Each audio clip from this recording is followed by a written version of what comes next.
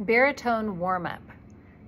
The important thing to remember is to breathe in a relaxed vowel shape. So you're gonna start with an oo, you're gonna breathe it in and you're gonna slide an octave.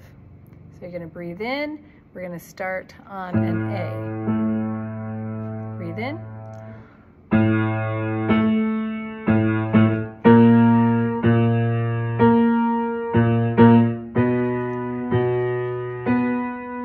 Make sure you take a breath and slide the whole way.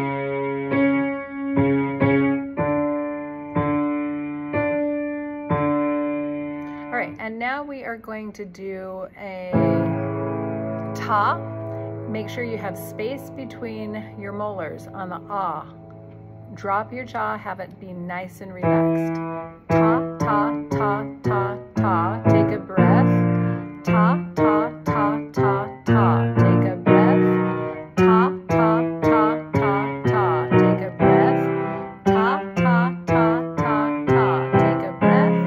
好。